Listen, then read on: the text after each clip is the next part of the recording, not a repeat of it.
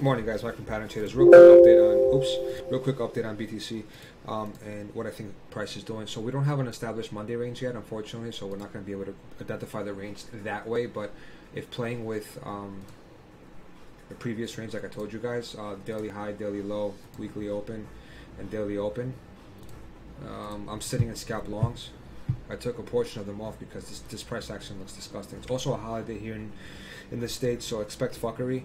Now, if you're taking the previous the previous range that we were in, technically speaking, if you look at this structure over here, this is the range that you're playing with, right?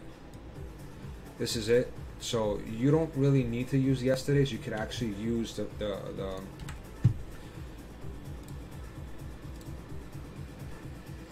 previous. Let's see how this looks see how this looks. Let's see. There you go. Perfect. Okay, that's the range that you're playing with. You're currently above weekly open, which is which is an awesome sign. Um, I don't want to see the price go under weekly open. If it does, then there's a there's a problem. I'll be a little bit concerned.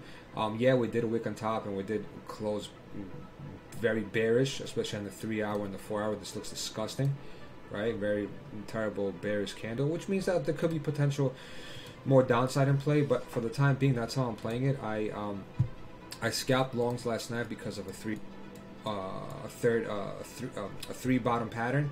So more likely than not, more likely than not, sorry about that, guys. More likely than not, when you put in a one-hour div or two-hour div like we did yesterday, two two days ago, sorry. Put in the div, right? Div, you see that? Um, you want to buy the higher low that is formed, right? So the higher low was formed, it led to a beautiful. This is your higher low. It led to a beautiful move up um, obviously, it might we might not see continuation. We might only stop over there. You don't know what's gonna what's gonna happen. But overall, structure-wise, if you take your fib levels, it probably got rejected at the 0.88, uh, most definitely, because it's a weekend and no, nothing, no one's working except for freaking algos. Look, yeah, there you go. It got rejected at the 0.88. Now, um, that means that the extension should be the seven, the 786. Let me see, 786, 786. Yeah, 786. Uh, pretty sure that's yep 786. So we don't want to see price go back under the 382. Um, otherwise, it's a little 382. Where does that lead us? Yeah, 359. I don't want to see price under there. Now, if it does happen to come to the weekly open and goes under for whatever reason, for a scam wick or whatever the case is, get a trend line. Um, put a trend line over here, so at least you have it. Now you have you identified your range. Uh, let me close this. I want to just keep my weekly my weekly open. So so weekly open is gold. So you identified your range. This is your trend line that you're working with. Um, you don't want to see price go under it, but if it does happen to go under it or, or whatnot, you want to avoid losing this structure right here. This is the structure that led to the impulse up, right? You don't want to lose that structure. You lose that structure, now we're talking like very bearish, very bearish behavior.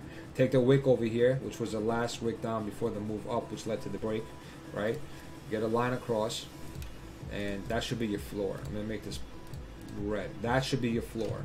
Meaning there's no reason you could come retest this and still be bullish, right? But there's no reason to break that. So if we happen to come down and then reclaim weekly open, then you take your long um, on the weekly open level, but your stop loss at the at the bottom of the wick, whichever wick it was, and then you want to target your, your previous weekly open, which was on um, 38.15. Okay, so that's how I'm playing it. I'm currently still in scalp longs. I might open new ones depending how price looks at the time when it comes down. But overall, this looks disgusting to me right now. It looks like it wants to come to at least, um, at least let's say th- low thirty six thousands. So, like somewhere down here. You know. You know, unless we get some random impulse move up, it looks pretty awful. I'm not gonna lie to you. I'm sitting in big Litecoin longs. I took 50% off. I, I'm still sitting in them. The only problem is with Litecoin is that I think that that move up is almost completed, if I'm not mistaken. I don't know. We'll see. Because it touched the 0.88, you know? It went from, yeah, so it's a little, uh, it's a little scary. Um, that's how I'm playing this. And if you want to be a little more precise, take your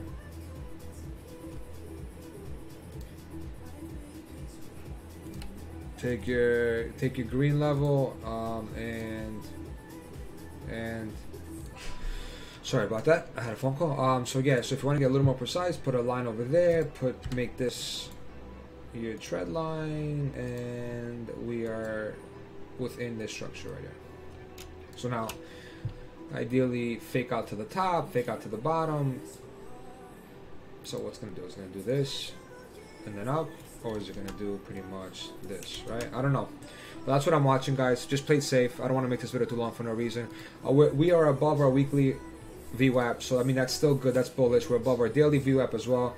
Um, the previous weekly VWAP, sorry, the previous weekly VWAP uh, is probably yeah right here on top of the previous structure that led to the impulse up. So I mean we have a lot of support on the way down. If it happens to be that we get down there. So that's how I'm playing it. Be careful, be safe. Oscillator wise, uh, there isn't really much I could update. We the biggest the biggest the biggest thing that I want to see is my 12 hour. If this thing turns into a head, we're gonna get a massive move up to make a, a right shoulder, which could take like I don't know 15 days, right? Of just constant grind up. So this could potentially be a, a low for quite some time. I'm not saying it is, but it could potentially turn into one. On uh, the 15 minutes trying to put in a head down here. No, I don't like it though. I'm not gonna lie to you. It, it, doesn't. It doesn't. There's nothing for me to tell you guys. Oh, everything looks fucking green and beautiful. No, it doesn't. Things look very fucking shaky. Excuse me for cursing. I don't mean to curse, but things look shaky. It's because there's no volume. It's like dead. It's dead. It's just fucking dead. So wait until Monday range is established, guys. Let me see the P. Actually, let me see the PT pan, the PT uh, TMA bands. Um. All right, listen. Let me tell you guys something.